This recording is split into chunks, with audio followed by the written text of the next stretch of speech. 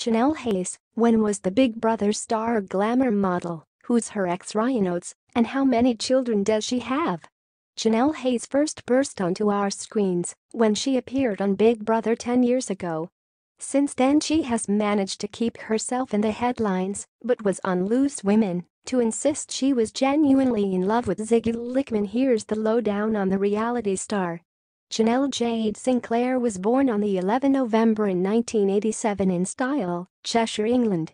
Her mother, Andrea Sinclair, a 32-year-old prostitute, was murdered by client Keith Pollard when she was five months old.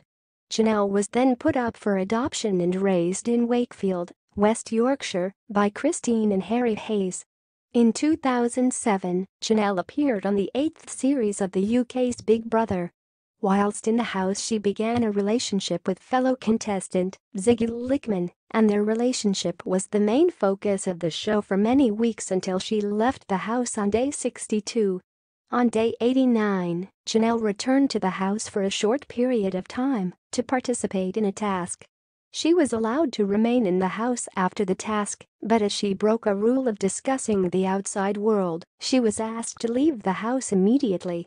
In 2008 Chanelle was signed by Eminence Records and released only one single called I Want It.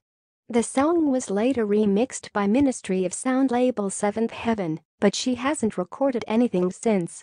After leaving the Big Brother house, Chanel used to regularly appear on the cover of lads magazines such as Nuts and Zoo. She also released calendars for 2008, 2009, 2010 and 2014.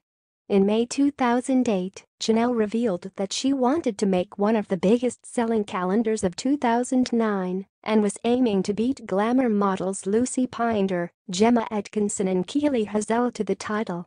Chanelle revealed in November 2017 that she is no longer in a relationship with PE teacher Ryan Oates the couple had announced on 6 March 2017 that she was expecting a miracle baby following fears that she'd been left infertile after gaining weight.